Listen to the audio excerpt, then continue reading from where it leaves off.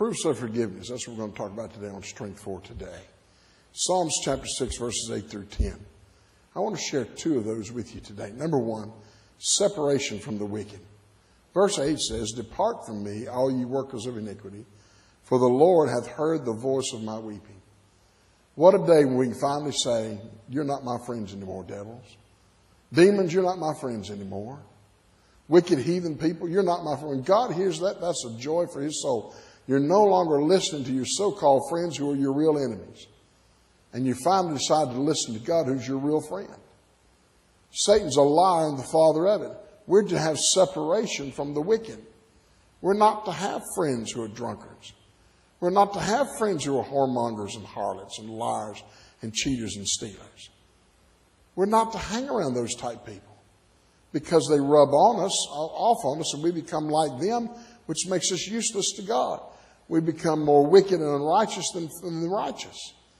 So God says a proof of forgiveness is that you walk away from the wicked. Number two, the supplication by the word. Verse 9 says, The Lord hath heard my supplication. The Lord will receive my prayer. See, our prayers have to be faith based, faith based on the Word of God. Believing the Word of God is why we pray. We're calling God out and saying, This is what you're saying, we believe it. This is what you told us, and we believe you.